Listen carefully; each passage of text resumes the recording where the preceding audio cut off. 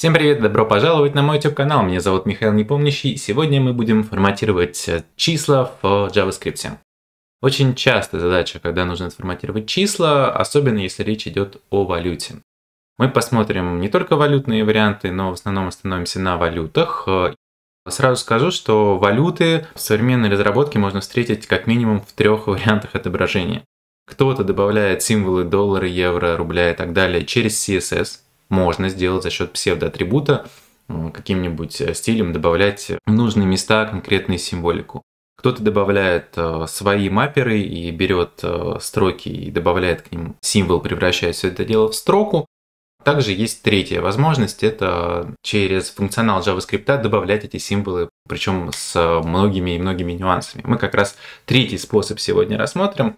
И давайте начинать. У меня три числа, и с числами мы можем работать примерно следующим образом. А я буду их выводить э, сразу в разметку. Вот у меня есть некий сам один. И если мы хотим это как-то преобразовать, у нас есть, э, опять же, средствами самого JavaScript как минимум два средства. Первый из них – это использование такой штуки, как toLocalString. toLocalString э, – это штука, которая позволяет нам преобразовать число к определенной локали. Причем по умолчанию мы можем эту функцию просто вызвать и ничего туда не передавать, и мы в какой-то локале получим представление. У меня сейчас определился такой европейский формат с разделением тысяч через запятую. Если я добавлю сюда не сам один, а сам два, то у меня, соответственно, каждые тысячи будут разделяться запятыми. Но этой штукой можно управлять. Ей можно передать два параметра. Это либо строка просто как локаль, либо строка и объект, либо просто объект. Э, объект, соответственно, это определенные опции. Допустим, я передам сюда локаль.ru, и вместо запятых мы сразу увидели пробелы. Где-то мы можем вместо запятых э, увидеть точки, то есть есть самые разные варианты. Касаемо опций. Опций много, и в зависимости от того, что мы хотим сделать, эти опции и прописываются. По умолчанию у нас э, в поле style отображается такая штука, как decimal соответственно, десятичные цифры. И здесь мы можем хотеть, опять же, самые разные варианты. Допустим, вариант, который называется процент. Понятное дело, что для такой большой цифры нам проценты, а, вероятно, не нужны. Давайте что-нибудь поменьше сделаем. Условный x добавим, скажем, что это будет 10. И для 10 применим эту штуку. И вот увидим, что здесь аж 1000%. Очевидно, это коэффициент умножаемый на наше число. То есть, по сути, умножается на 100. Ну, коэффициенты э, с процентами обычно как-то вот так вот поступают с дробями. Вот по особому правилу мы видим идет преобразование.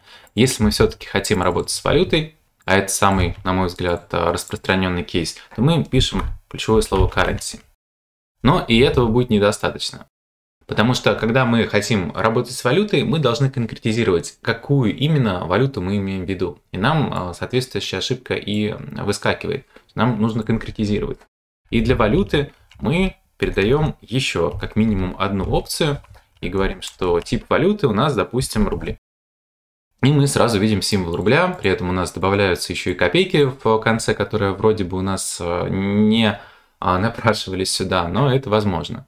В то же самое время вместо рублей, допустим, мы могли бы захотеть евро, и символ, обратите внимание, что он в конце, потому что ну, JavaScript считает, что в России так принято. Если я скажу, что это будут USD, доллары, они тоже будут в конце. Если я захочу поработать с этим, допустим, на вариант английского, английский, то он у меня уйдет в начало. Причем английский тоже бывает э, самый разный. Например, есть английский, который британский, и мы видим, что не просто доллар, а US доллар.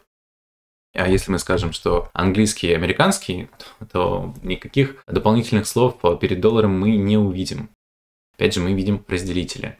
А, так форматируют конкретные единицы. Да? То есть в Америке принято с тысячи а, разделять запятыми, так же, как и в Британии, как мы видим точно такой же сценарий. Соответственно, нам нужно найти код символа валют, а, код локали, который нас устраивает, причем локаль это штука, которая формируется из языка и из региона. Соответственно, если какой-то язык э, используется в разных регионах, там могут быть нюансы вроде того, что мы только что увидели.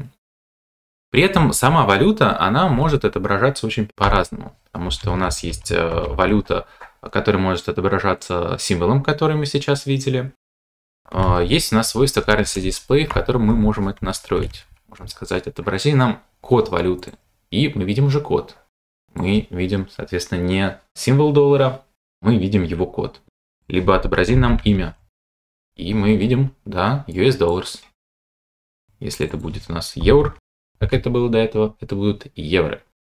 Если мы скажем локаль ру, она даже прямо по-русски напишет евро. Что, согласитесь, очень и очень удобно. Нам не нужно добавлять эти слова, символы самостоятельно. Он просто JavaScript сам возьмет и добавит это все куда нужно. Кроме того, если вдруг мы не хотим, чтобы у нас э, разделялись числа, вот эти вот порядочки, нам не нужны. Это не так часто бывает нужно, но иногда требуется, чтобы разделителей этих не было, мы ими тоже можем управлять есть ключик, который называется useGrouping, и он у нас э, вполне спокойно принимает булевое значение. По умолчанию это true, поэтому мы и видим эти разделители. Если мы говорим, использование групп надо отключить, разделители пропадают. Вне зависимости от локали, в которой мы находимся, разделителей у нас не будет. Ну и касаемо копеек, мы видим, что они по умолчанию всегда есть. Опять же, у нас здесь есть э, минимум и максимум для самых разных вещей. И сейчас меня интересует э, fraction digits – я говорю, что минимально мне не нужны они вообще, пускай будет 0. Но если при этом я передам вот сумму, где у меня прописаны копейки, они будут отображаться. Если это будет, э, соответственно, одно число, а не два, будет отображаться одно число. То есть сколько нужно, столько отобразится. Но минимально, я говорю, не надо отображать.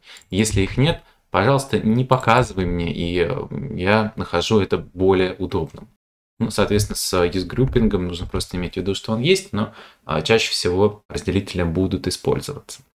Это, как я сказал, уже первый способ из двух возможных, которые у нас есть в JavaScript, чтобы преобразовывать число к валюте, ну, либо к другим стилям, которые у нас есть. Кроме того, у нас есть еще альтернативный способ. Этот способ неудобен тем, что мы каждый раз у самой переменной числовой вызываем встроенный метод и передаем ей опции. Хотя, конечно же, объект опции можно сохранить как отдельную переменную и передавать сюда эту отдельную переменную. Но иногда бывает э, удобнее сделать несколько иначе. Даже давайте пока что без внешнего кода обойдемся. Оставим э, эту запись, которая у нас есть э, в таком варианте, как она сейчас присутствует, но пойдем немножко по другому пути. Мы создадим некий инстанс объекта такой сущности, который называется Intel. В ней много всего есть, нас сейчас интересует форматирование чисел. И для форматирования чисел на самом деле у нас будут идти все те же самые настройки, которые мы видели чуть раньше. Один в один. То есть мы их можем прямо скопировать, передать. И мы таким образом создаем некий объект. И в этом объекте, который мы таким образом создали, есть встроенный метод формат, который мы уже передаем какое-то число, и происходит ровно то же самое. Мы видим, что у нас две сущности одинаково отформатировались.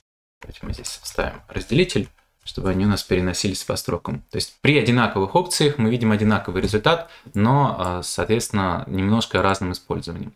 Почему такой подход может быть более удобен?